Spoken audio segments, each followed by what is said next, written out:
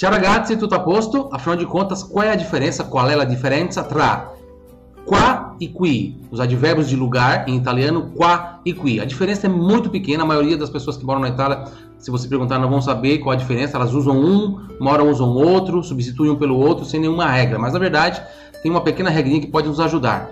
Os dois são, são advérbios de lugar que a gente usa é, com coisas que estão perto de mim. Porém, qui é algo que está mais, mais próximo e o qua é algo que está no ambiente que eu estou, tá? Então, por exemplo, eu posso falar assim: é, estamos numa mesa com quatro lugares, quatro pessoas, e eu falo é, qui fa caldo. Então, eu estou querendo dizer que aqui no lugar onde eu estou sentado é, está calor. Agora, se eu falo qua fa caldo, então eu estou querendo dizer que no ambiente, então né, no ambiente que nós estamos, as quatro pessoas, elas vão sentir que aqui está calor, certo? Essa basicamente é a diferença.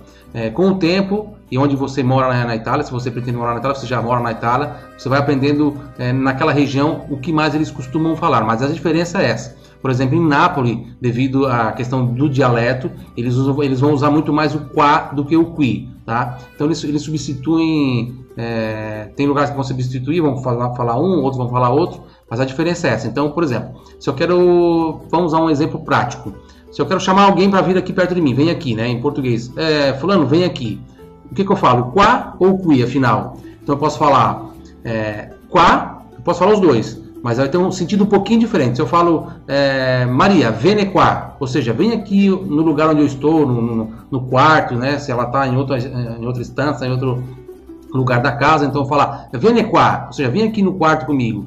Agora, se eu falar assim, vene, vene qui, é, eu posso chamar uma pessoa que já está no mesmo ambiente que eu estou, para se aproximar ainda mais de mim e ter um contato comigo, pegar na minha mão, me dar um abraço. Então, viene qui, né? Você está conversando com alguém que está triste, eu falo assim, viene qui, e dou um abraço. Ou seja, tem um contato maior, uma, uma distância menor entre, entre eu e a pessoa, né? Ou seja, qui é no ponto onde eu estou ou, ou no, no, no, ao redor de mim, tendo contato comigo. E qua é no ambiente em que eu me encontro.